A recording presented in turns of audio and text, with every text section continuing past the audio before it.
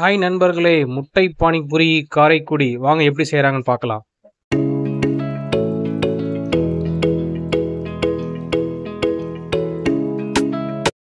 நண்பரோட சேர்ந்து பானிபூரி சாப்பிடலாம் அப்படின்னு சொல்லி ஒரு பிளான் போட்டு போனோம். அங்கே வந்து ஒரு முட்டை பானிபூரி கடை இருக்குது போய் சாப்பிட்டு பாருங்கள் சூப்பராக இருக்கும் அப்படின்னு சொன்னாங்க.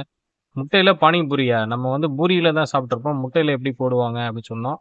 போய் பாருங்க சூப்பராக இருக்கும் அப்படின்னாங்க.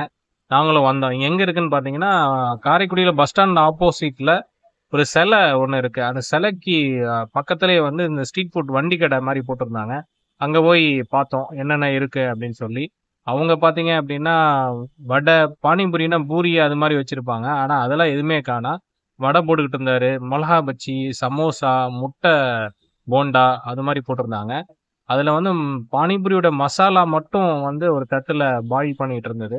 என்னங்க அப்படின்னு அண்ணன்ட்ட கேட்டோம். எப்படி முட்டை பானிபூரின்னு சொல்கிறாங்களே எப்படின்னு கேட்டோம். அண்ணன் இருந்துக்கிட்டு நம்ம இந்த மசாலா வந்து சென்னா மசாலா வந்து முட்டையில் மிக்ஸ் பண்ணி ஆனியன் அது மாதிரி போட்டு தருவோம். நல்லாயிருக்கும் சாப்பிட்டு பாருங்க அப்படின்றாரு.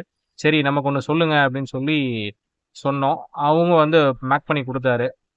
பார்த்தீங்கன்னா அதில் வந்து ஒரு சமோசா ஒரு வடை பருப்பு வடை ஒரு முட்டை அது மாதிரி போட்டு கொடுக்குறாரு. அதில் முட்டை ஆனியன் நல்லா மிக்ஸ் பண்ணி எல்லாத்தையும் உடச்சி விட்டு நல்லா மிக்ஸ் பண்ணி அதில் கொடுக்குறாரு. கொடுத்த வந்து சூப்பராக டேஸ்ட் இருந்தது.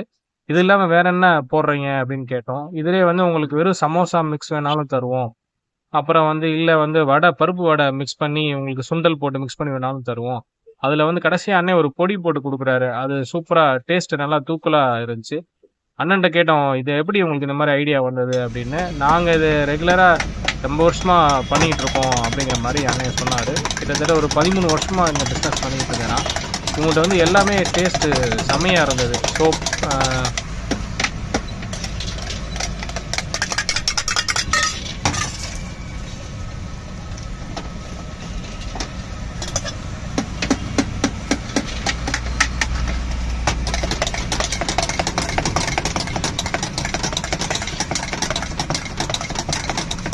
அண்ணன் இதை வந்து நல்லா மிக்ஸ் பண்ணி கிண்டு கிண்டு கிண்டி கொடுத்தாரு.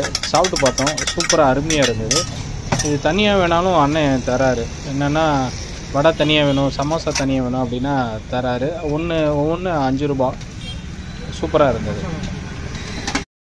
இதில் பார்த்தீங்கன்னா மசாலா தான் இதோடைய விஷயமே. மசாலா டேஸ்ட்டு சூப்பராக இருந்தது. காரைக்குடி போனீங்கன்னா ட்ரை பண்ணி பாருங்கள் சூப்பராக இருக்கும். நெக்ஸ்ட்டு சூப்பரான வீடியோவில் பார்க்கலாங்க. பாய்